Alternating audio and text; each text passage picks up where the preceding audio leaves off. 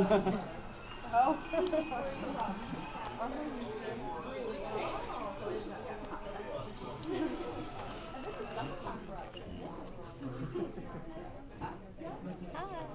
Sports Center does take its toll. For Kenny Mayne, I'm Dan Patrick. Good night. Once we finish a show, we do it all over again for the overseas markets. Buenas noches, amigos.